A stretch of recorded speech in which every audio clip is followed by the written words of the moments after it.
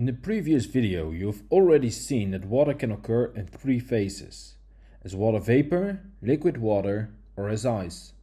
This video explains the relative humidity. Suppose there is a package of air. There is a certain amount of evaporated water in the air, water vapor. The exact amount of water vapor in the air is the absolute humidity. However, this type of humidity is not the most important type of humidity. That is the relative humidity. This is the ratio between the amount of water vapor currently present in the air and the amount of water vapor present in the air before the water vapor condenses. This is expressed as a percentage. If we add extra water vapor to the air at a relative humidity of 100%, then water vapor will also condense and form clouds. The relative humidity could also be 50%. At that moment there is only half the amount of water vapor in the air compared to the amount of water vapor that can be present in the air. The relative humidity can change in two ways. The first way is by adjusting the amount of water vapor in the air.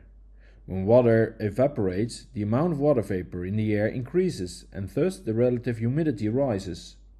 For example, by taking a long and hot shower, water evaporates so that the relative humidity can rise sharply in the shower and some of the water vapor condenses. The second way is by changing the temperature of the air. Remember the following rule. Warm air can contain more water vapor than cold air. Sometimes this is explained as if warm air can hold more water vapor. While this is true in itself, it's also a bit misleading because it's not the warm air that holds the water vapor, but the water vapor itself moves much faster when it's hot, making it less likely to condense. This also means that if the air gets warmer, but the same amount of water vapor remains in the air, the relative humidity decreases. The maximum number of possible particles of water vapor that could be present in the air increases, but the number of particles present remains the same. This lowers the relative humidity.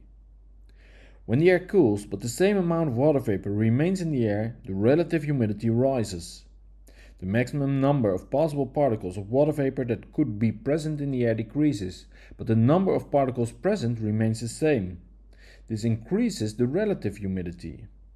We see this in practice, for example, when we exhale on a cold winter day, we also exhale water vapor.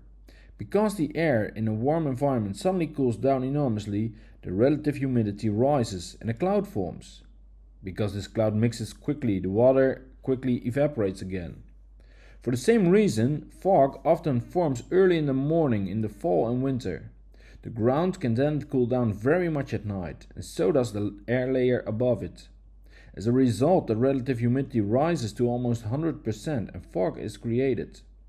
As it gets warmer during the day, the temperature of the air rises and the relative humidity decreases, causing the fog to disappear.